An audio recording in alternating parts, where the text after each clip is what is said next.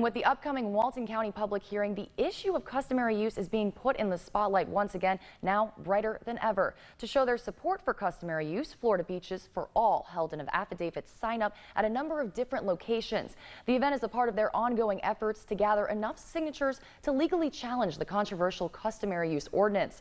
The collected affidavits will be submitted at the hearing as an affirmation of public use. Organizers at the sign up emphasize the shared nature of beaches.